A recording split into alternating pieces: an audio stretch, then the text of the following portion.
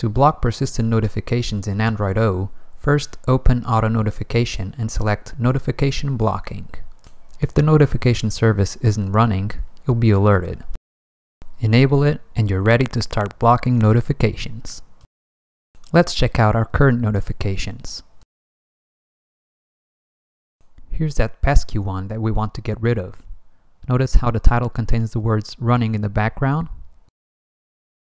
In AutoNotification, add a new blocking rule, select the Android System app, and set the title filter to running in the background.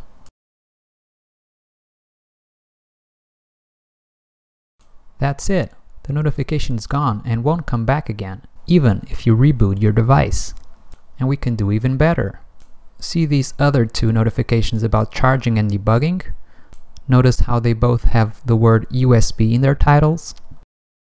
Edit the blocking rule for Android system and change it to what you see on the screen.